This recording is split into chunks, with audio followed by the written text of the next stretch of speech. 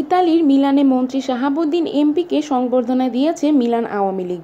বাংলাদেশ সরকারের বন ও পরিবেশ মন্ত্রী শাহাবুদ্দিন ইতালির মিলানে সরকারি সফরে আসলে ইতালির মিলান, লোম্বর্দিয়া আওয়ামী লীগের পক্ষ থেকে নাগরিক সংবর্ধনা প্রদান করা হয়।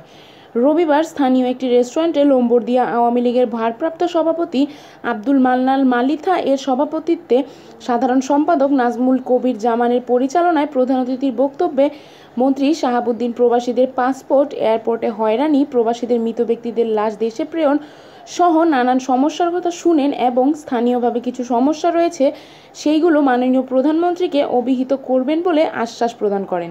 তিনি দেশের বর্তমান সরকারের উন্নয়নের কর্মকাণ্ড প্রবাসীদের মাঝে তুলে ধরেন এবং প্রবাসীদেরকে আগামীতেও বর্তমান সরকারের পাশে থাকার আহ্বান জানান। অনুষ্ঠানে বক্তব্য রাখেন লোম্বরদিয়া আওয়ামী লীগরত আকরাম হোসেন, শিপন আহমেদ, জামিল আহমেদ, জিনু মিয়া, মেম্বার চঞ্চল রহমান, মঞ্জুর হোসেন সাগর সহ লোম্বরদিয়া আওয়ামী লীগ যুবলীগের নেতৃবৃন্দ।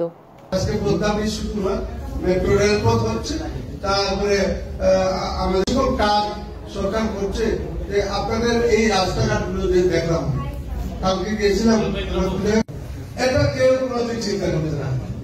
কিন্তু আজকে বাংলাদেশের ঘরে ঘরে বিদ্যুৎ পৌঁছেছে তো? আপনাদের বাড়ি ঘরে বিদ্যুৎ পৌঁছে তো?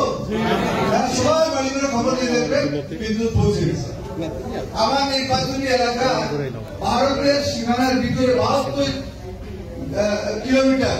ভিতরে লাইন দিয়ে একটা গ্রামে বিদ্যুৎ লাইন পৌঁছে